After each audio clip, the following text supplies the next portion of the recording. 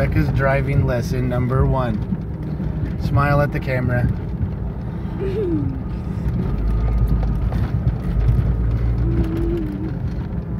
See? No big deal.